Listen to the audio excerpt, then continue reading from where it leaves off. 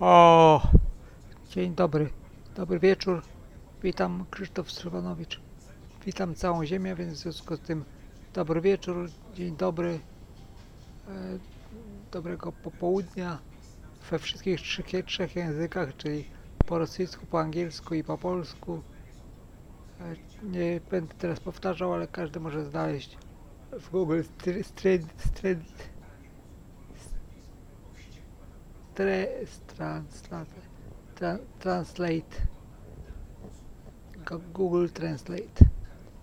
Tak, i tylko chciałem teraz powiedzieć na szybko, bo mam tylko chwilkę, jak zwykle. E, Chciałem tylko powiedzieć na temat tego projektu, który sobie ostatnio snuję w głowie.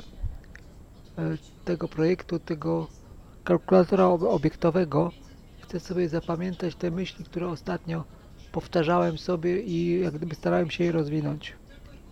Czyli było tak, zaczynało się od relacji, relacja miała po bokach dwie strony, strona miała czynniki, czynniki mogły być e, ilorazem, iloczynem, ułam, znaczy ułamkiem, czyli ilorazem. Ale właśnie o to chodzi, że taki element jak czynnik mógł być wyrażony różnych postaciach. Na przykład e, jakaś liczba do, do minus pierwszej, na przykład 100 do minus pierwszej, nie, 10 do minus pierwszej, 10 do minus pierwszej to jest 1 przez 100. A więc w związku z tym albo to był ułamek 1 przez 100, albo to było 10 do minus pierwszej. W zależności od tego, czy się przytrzyma liczbę, czy nie, dłużej, krócej i tak dalej, tam różne sposoby, że tak powiem, an- androidowe, to można zmieniać postać liczby. Postać liczby jest z tego zapisu ułamkowego na zapis potęgowy. Potęgowe dzie- dzie- 10 do minus pierwszej to jest 1 przez 100, a 10 do minus... Nie, źle mówię.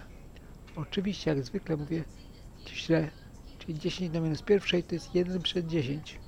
10 do minus drugiej to jest 1 przez 100. 10 do minus trzeciej to jest 1 przez 1000. Mówię, dobrze mówię, źle mówię, oczywiście źle, źle, ale gdyby ważne jest, żeby y, sobie y, pomyśleć, zastanowić i zapisać, jak to będzie z tymi ułamkami e, ujemnymi, znaczy z ujemnymi potęgami oraz z potęgami potęgami ułamkowymi, czyli na przykład 10 razy nie, dzie- 1 razy 10 do minus jednej drugiej.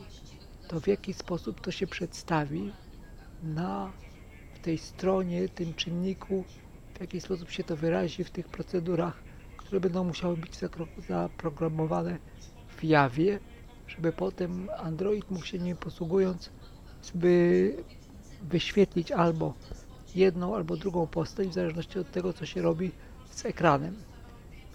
Tak, i to jest ta myśl o tych potęgach w tym kalkulatorze, że, że ta postać liczby może być wyrażona jako ułamek lub jako potęga ujemna, ułamkowa i, i, i tyle wystarczy. Dziękuję.